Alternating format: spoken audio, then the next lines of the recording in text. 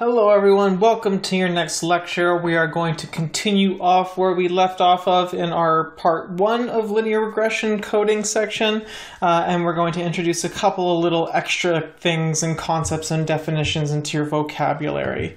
Uh, so again, we're still going to deal with the same code. We're going to learn how to build an MLR with machine learning split that data. We're going to learn how to use that function, and we're going to deal a lot more with visualization, a lot less with the fundamentals of Python. And then uh, I want to introduce two concepts to you uh, that we're going to go over in greater detail later, the concepts of normalization and overfitting. So uh, at, later on in this code section, remember that I said we're going to use more than one feature to create our linear regression, our line with machine learning. Things like age, are going to be a lot different than things like body mass index or or height or weight. So um, usually standard practice is to nor- like to change the values of the parameters that we're using into a scale that is consistent between all of them, like between zero and one or negative one and one. And the reason for that is the learning rate, uh, because the learning rate, if it's for if you have like a large learning rate, it might be more large for one parameter than it is for another and it's losing out on potential learning because there's noise between the different scales of data that it's working with. So in future lectures, we're going to learn more about this normalization process, but I wanted to introduce this to you. The last thing I wanted to talk about is overfitting, uh, and it's it's it's related concept of underfitting. So uh, the reason that we split data into training and testing is that we don't want our machine learning model to uh, be unable to generalize. Turns out if you train too hard, it's going to just kind of uh, find a very direct relationship between each point rather than being able to be generalized. Uh, so we need to be careful that we're not making our machine learning models learn too hard or too specifically.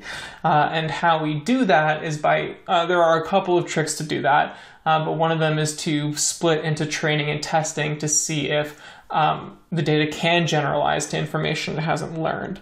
The uh, inverse of this is underfitting, where you don't give it enough data or enough information or enough learning uh, for it to be able to, uh, you know, refine its the accuracy and generalize appropriately. It almost is too generalizable, and classes or categories are not being accurately predicted because it's underlearned for some reason, and it might actually underlearn if you don't normalize, it might underlearn the effect of, let's say, height when compared to BMI. Um, so with those definitions, guys, let's now move into our syntax for this and uh, go back to that code, run a single linear regression, play with some math, as well as look at how that code is running line by line. So I'm going to comment this out. And we're going to look at a couple of these things one at a time. So first, let's print the length of x here and the length of y. Let's also, let's just print x so you can see what it looks like. Um, let us also then print the length of our training data. Okay, and then we will print, um, let's see what the model looks like. Okay, so when we run this, let's see what we get. So first thing we get is our data frame. There's our x variable. So these are all the values for our body mass index x um, value. Then um, we get the length of our x and y variables. So that means there are 440 roughly um, um, data points in this data set. And then we uh, printed the length of the training object. And if we did the math, this would be basically uh, 80% of uh, 442. So that training data uh, randomly selected uh, I'll, I'll, show you. I'll show you what the training data now looks like. Because what we can do is it'll show the row numbers. And you'll see that it selected a bunch of random rows one at a time. See? So the first thing you see here with the pandas data frame is these values are the index position, and then this is the actual value. So this is saying uh, it selected row 106, 343. So not only is it not in order, but it selected them at random. Okay? So it's a random selection of 80% of the data. And then the last thing that printed is um, this linear regression parameter stuff. So it fit to an intercept, it only did one job, it didn't try to normalize data, and it just copied the x value, okay? So that was all the default parameters that we could adjust in this model that we're not right now. So one thing I want to do now is I also want to just show you a classic uh, linear regression analysis as well as compare that linear regression um, to our um, to our mean squared error and like our basic calculations here. So what this is doing, uh, this is going to create our function for our linear regression, our standard linear regression. Uh, if you took my previous class on Introduction to Python, this is our statistics class, and basically what we're doing is we're using uh, NumPy here, and we're saying, okay, you know, give our x variable, our y variable, and calculate a linear regression, and then um, create the function for that linear regression once you have the parameters. So you know, an mx plus b. So I'll print the mx plus b here, and we'll look at what that graph looks like, okay? So first things for, let's also take that off. There we go. So first we get the function right here. And so we see that uh, it's like, you know, almost like basically around a thousand x, and that makes sense because we are you know, at hundredths here, and it might go up in that value. Oh, let's also take out the blue here for a second. And um, what else do we have? We have the intercept uh, at 1512. So if we're at zero here and we go all the way up, it looks about 152 here to me as well. So that, that function is actually correct. The intercept is at zero there.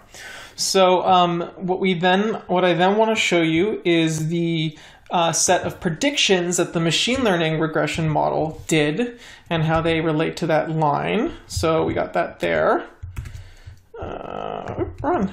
There we go. And that was what we recreated before. Remember, this is from our first class. So it's following that linear regression line.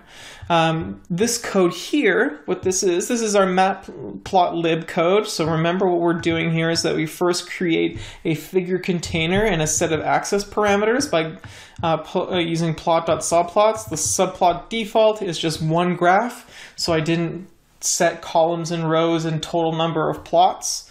Uh, I then passed in the x and y data uh, for this single feature and said I wanted red dots.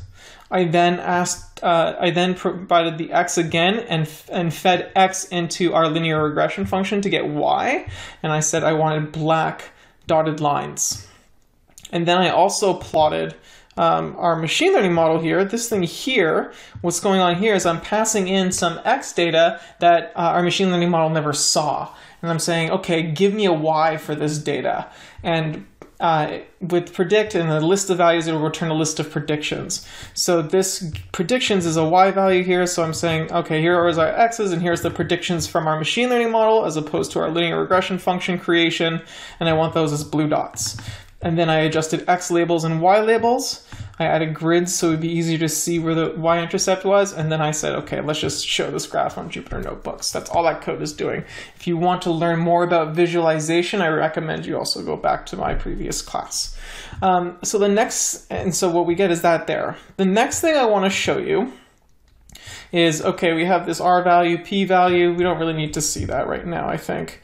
Yeah, what we're instead going to see is, um, so we have our predictions like we did before, and what I did instead is rather than get the train data, I took all of the X data and I created the prediction, uh, our prediction list. Now remember, that's that YI with the tilde on top, our set of predictions. So if I end up calculating our mean squared error, like I showed you last time, the sigma n over i equals 1, sum of uh, the actual targets to the predicted targets, and I square that, I should get uh, the mean squared error, okay? So when I run that, uh, what you'll see is, okay, first thing is I have to actually show you this part of it. I don't have to show you the R or the p-value, but this thing called standard error here is basically the mean squared error divided by the population. Uh, and this is just a way of standardizing how large the mean squared error is so that it's like within a certain range of uh, a certain range that's more standardized across all data sets. So what we do is I make our predictions here. I then calculate our uh, mean squared error, our y to our set of predictions, squaring it, like basically checking the distances between our predicted values, our blue, and our y values for that for that thing, and I computed.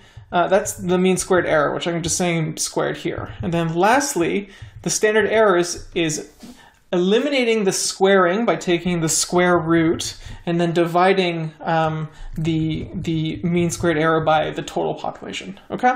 Or the, the total length of data. And so if we compare our standard error from our linear regression to our hard-coded standard error from our machine learning, what do we get? We set these two values here.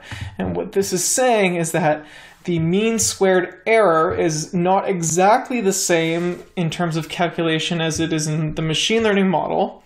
Um, it's actually arguably slightly better, it's saying here, slightly more accurate without doing any kind of like parameter tuning. Um, but it's also saying that it's calculating mean squared error and uh, there are like basically very very small differences in rounding that are making up for some of the differences in this in these values here too so pretty cool. The mean squared error is actually being found in a, in a completely different method than using our, you know, our standard method. Last but not least, I want to just show you how this works with multiple features now. So the difference between last block and this one is that now features isn't just BMI. It is all call all X categories that are available in our data frame. You can't do this that easily with a standard linear regression. Everything else is basically the same. And so, we're, but we're going to have a completely different x-axis. It's not BMI anymore. It's an integration of data from various uh, targets or various categories along with the score. And what happens when we do this? So First off, visually, uh, I mean, it appears to have created a small linear regression line somewhere like there, but it doesn't appear like it would be very accurate because look at the spread of data. Um, so an interesting thing about machine learning is uh, the more data that you have, the more different types of information, the more difficult it is to find these natural patterns. So even though we were able to create a linear regression with all these features, we need to do a handful of other things, such as parameter tuning, uh, optimization uh, with respect to normalization. So, you know, we have um, an age variable and a height variable, which are going to be different in terms of their scale. Like okay so height is in centimeters let's say 124 and you know you have ages in years uh, usually with machine learning we want to normalize our variables to be close to each other in terms of their ranges because um, then when we do our step sizes each of those parameters are actually being uh, adjusted in similar ways uh, there's also better ways of doing training and testing, for instance. So this is an example of showing you how all this machine learning uh, uh, you know, machinery works under the hood, but also how important parameter tuning is and understanding the nuance between um, just like plugging in an X and Y and seeing what, what it can predict. So in other classes, not only are we going to learn more about doing like different types of machine learning models, I'm going to continue to introduce best machine learning practices, such as normalization of your parameters, such as learning about overfitting and underfitting, and local and global minima. All of that stuff is very important. So um, let's recap, guys. What did we learn today? What we learned is that we learned how to build a multiple linear regression model using machine learning very simply. We played with single variables as well as multiple variables in order for that machine learning model to be created. But we learned that there's more nuance there and that more has to be done in order to prune and process our data that we're going to get introduced to slowly through this class. We get a little bit of a reminder of how Python works by like importing objects and lists and all that kind of stuff. I showed you a simple way of tra building training and test um, objects for your data using scikit-learn, and we did a little bit of visualization. So with that, guys, our next topic is going to be on random forests. We're going to introduce more of these concepts and more information as we go. So uh, if you started to understand, if this is making sense to you, the process of how we are going to be approaching new problems as well as new models is going to be very similar. So hope you liked it and uh, see you next class.